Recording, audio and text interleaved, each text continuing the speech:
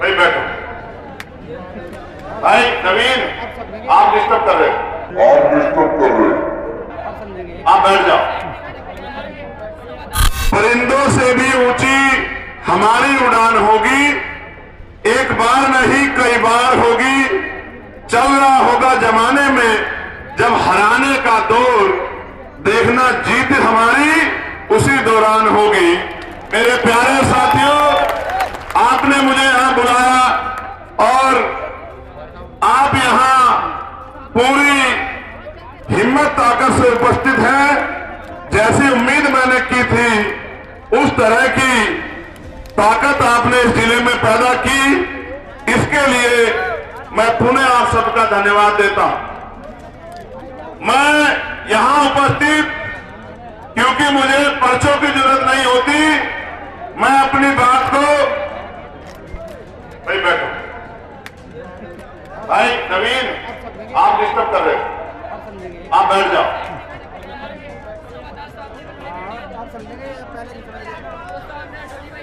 मुझे पढ़ने के लिए पर्चों की ज़रूरत नहीं है। मेरे पास इतना संघर्ष है कि अगले पाँच छह घंटे मैं आराम से आपके और अपने बीच बातचीत कर सकता हूँ। इतना आशीर्वाद, इतना संघर्ष बाबा साहब अंबेडकर मान्यवर काशीराम साहब के आशीर्वाद से, भीम आर्मी के साथियों के सहयोग से मैंने किया। मैं सबसे ज़्यादा धन्यवाद दूँगा जिनका खून में जिन्होंने मुझे ताकत दी है अपनी माओ बहनों का, जो गाँव से लेके और यहाँ तक जिन्होंने आके मेरे मान को बढ़ाने का काम किया और जिनके आशीर्वाद की वजह से आज मैं ज़िंदा हूँ।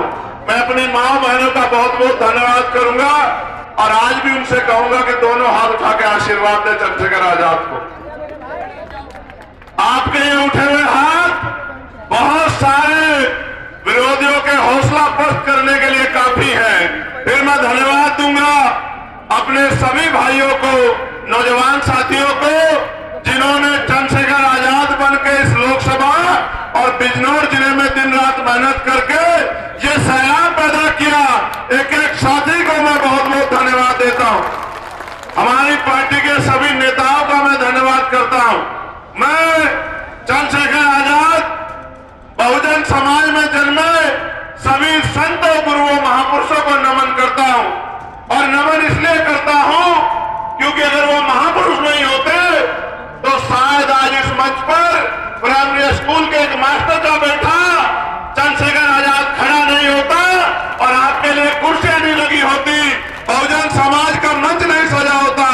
इसलिए मैं महामानव तथागतपुर से लेके संत श्रोमणी सतगुरु रविदास जी महाराज, भगवान वाल्मीकि महाराज, गुरु नानक देव, संत कबीर, राष्ट्रपिता ज्योतिबा फूले छत्रपति साहू जी महाराज डॉक्टर बाबा साहब अंबेडकर महामना रामस्वरूप वर्मा संत गाडगे जी महाराज, नारायणा गुरु,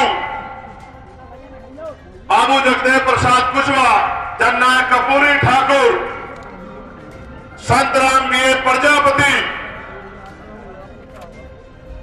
उनके साथ साथ मान्यवर दीना भाला वाल्मीकि साहब, कोतवाल धन सिंह गुजर साहब चौधरी चरण सिंह जी कुंभाराम मारिया जी, महाराज सिंह भारती जी, और मान्यवर काशी राम साहब को नमन करता हूँ, जिनकी जयंती आज हम लोग मना रहे हैं।